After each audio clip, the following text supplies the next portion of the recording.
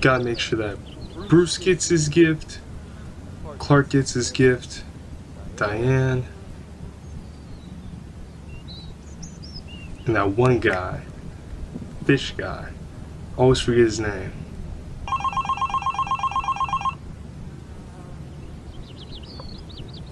Hey, I thought you said he's gonna be here in like five minutes. Don't worry, I'll be there in a flash.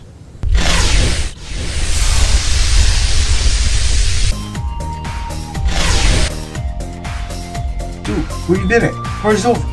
What do you mean? How could I miss the party? I got everything. I even got. I even got Batman's favorite hat. How can I miss the party?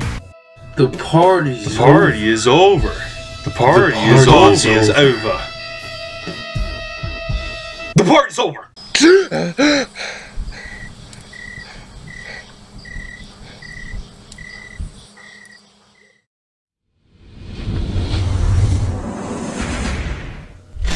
Whoa!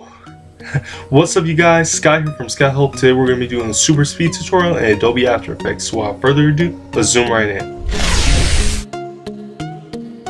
Open your video by pressing Ctrl I and drag it into the new composition icon.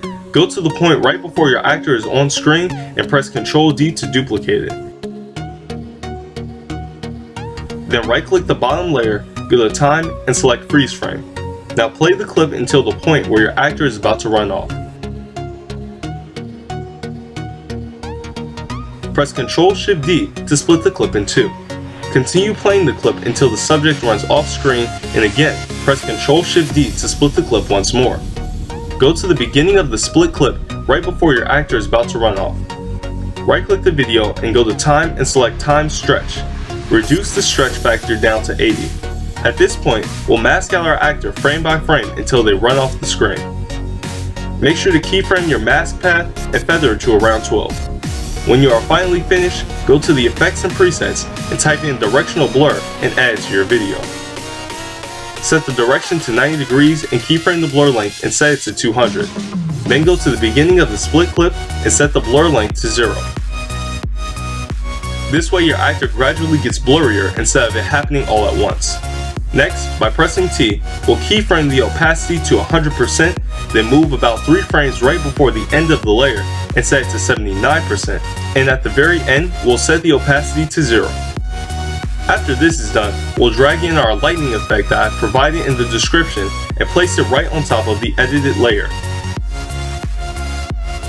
Move to the point where the lightning first appears and simply press Alt bracket to trim the video to that point. Now you can make the lightning any color that you want, but for this tutorial, we'll stick to the colors shown in the skit. We'll add a hue and saturation effect to the lighting and change the master hue until it has the right color. Then set the mode to screen and adjust the scale to fit the video.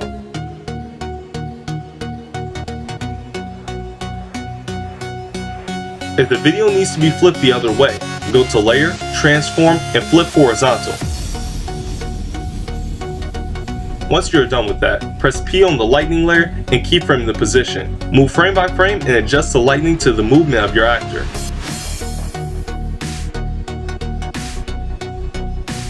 In my shot, the lightning isn't as long as I wish it to be, so I'll go to time and time stretch to increase the stretch factor, but be careful though. If it is stretched out too much, the video will begin to look less believable, as the frames are just going to look more like still images the more you stretch them. When you are finally finished moving the position of the lightning, press Ctrl D to duplicate the layer and set the mode to add. Then click toggle switch modes and enable motion blur to the lightning layer on the bottom and enable motion blur in the composition.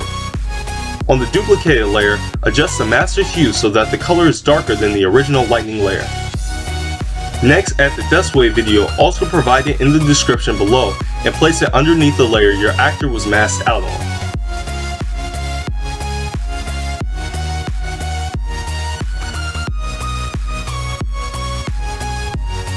Then set the mode to screen and go to the effects and presets and type tint and drag it onto this layer.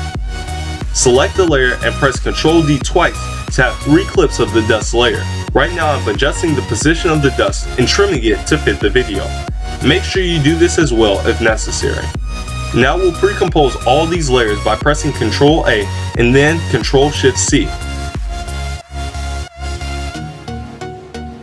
Once you've composed your video, go to the point where the first frame of the lightning appears. Drag in the lens clip also provided in the description and place it on top. Right click the video and go to time and select freeze frame. Then set the mode to add.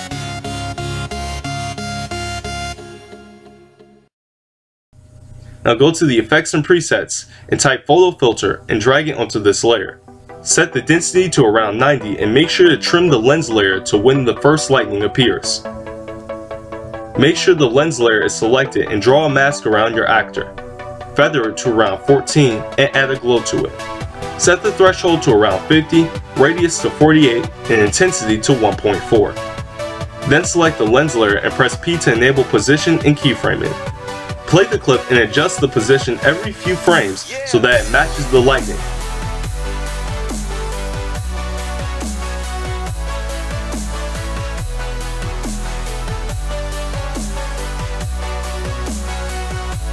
Once you are finished, click Toggle Switch Modes and enable Motion Blur on the bottom layer.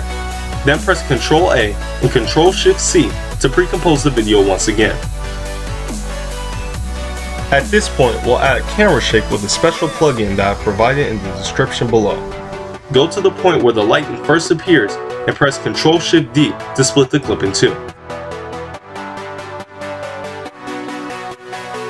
Go to Animation Presets, Aftershake, and then drag Aftershake footage to the second half of the video. Make sure to be at the beginning of the second clip and keyframe the rotation, amount, and speed. Set the amount to 30 and enable motion blur to the top layer.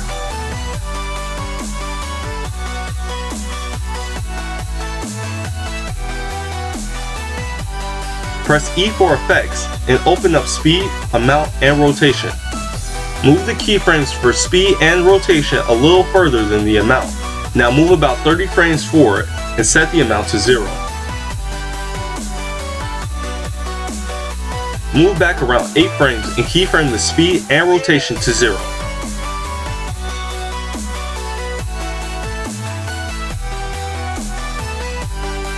Right now I'm deleting the blank shot that was on top of the smoke so that the smoke won't be covered up.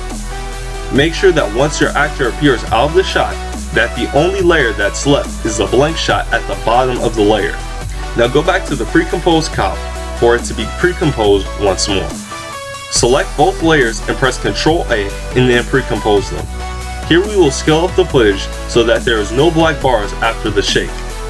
Go to the beginning of the clip and press S and keyframe the scale. Then go to the first frame you see any black bars and scale up the footage so that they are no longer visible.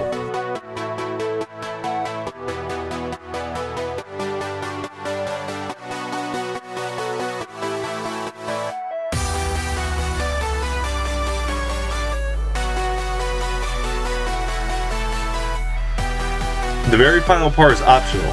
For the last effect, we'll scale up the footage and move the position to follow the actor.